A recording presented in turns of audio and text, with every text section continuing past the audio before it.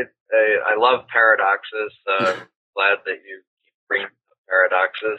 Um, I think it's a it's a very important paradox, and actually, from my from my view, we never get performance improvement without a combination of collaboration and competition, or it's very hard to sustain that kind of performance improvement. So you need a balance between the two in order to drive rapid and sustained performance improvement. Uh, one of the areas that we've spent a lot of time uh, investigating in this context is uh, extreme sports, where there's a relentless focus on performance improvement. People, those athletes are constantly challenging themselves and challenging each other to get to the next level of performance.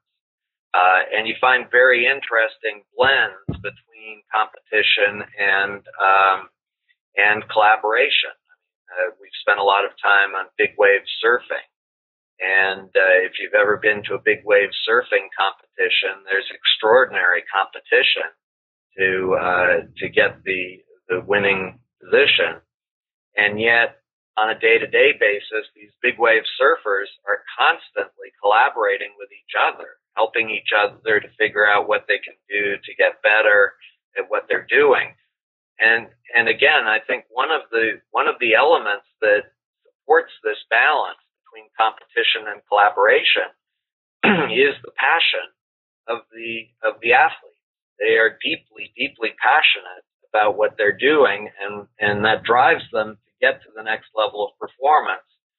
But it also drives them to connect with other people who share their passion and they are drawn to them. They want to learn from them. They want to learn from each other.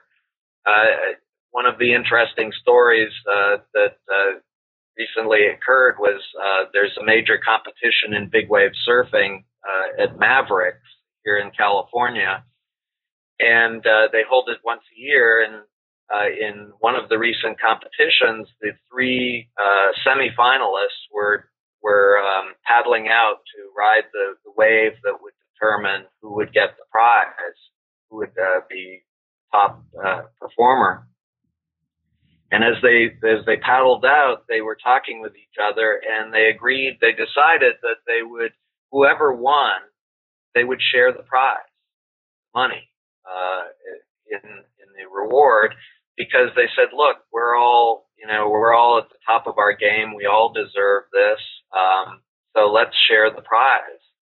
And, and yet they competed very aggressively to figure out who would be the winner of that final wave. I mean, they, they, it was important to them in terms of pride and, and demonstrating their performance to get to that next level, mm. but they were sharing the prize with each other at the mm. same time. So I think it's an interesting example of the balance, uh, between competition and collaboration.